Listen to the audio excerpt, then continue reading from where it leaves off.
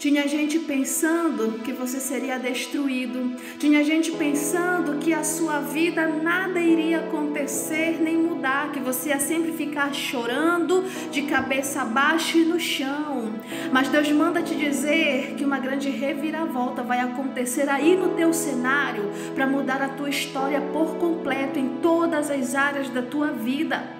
Creia nisso, ainda ouvirão falar do teu nome, ainda ouvirão falar da tua história, porque grande será o testemunho que Deus vai te dar. E vai ter muita gente te chamando em vários lugares para você testemunhar, para que outras pessoas venham ver o que que Deus pode fazer na vida daquele que crê. Então, se você é essa pessoa que crê, já recebe, toma posse, confirma aí nos comentários dizendo eu creio em nome de Jesus. Amém.